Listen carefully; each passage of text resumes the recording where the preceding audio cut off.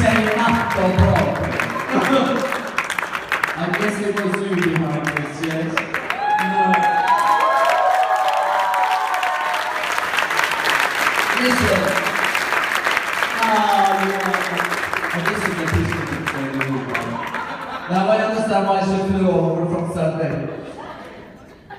All of you, ladies and gentlemen, you know, for a teacher, it's um, especially touching when all the students, or most of them, that you have the pleasure of teaching and spending time with become your true friends forever. And I'm very lucky that I have a bunch, a whole bunch of really, really dear friends. Thank you all of you. Thank you.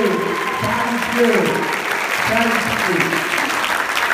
And you know, what is also so special that I I sit here and I see them coming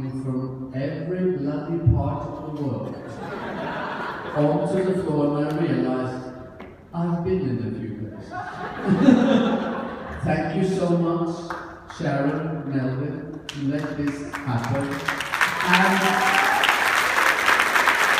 and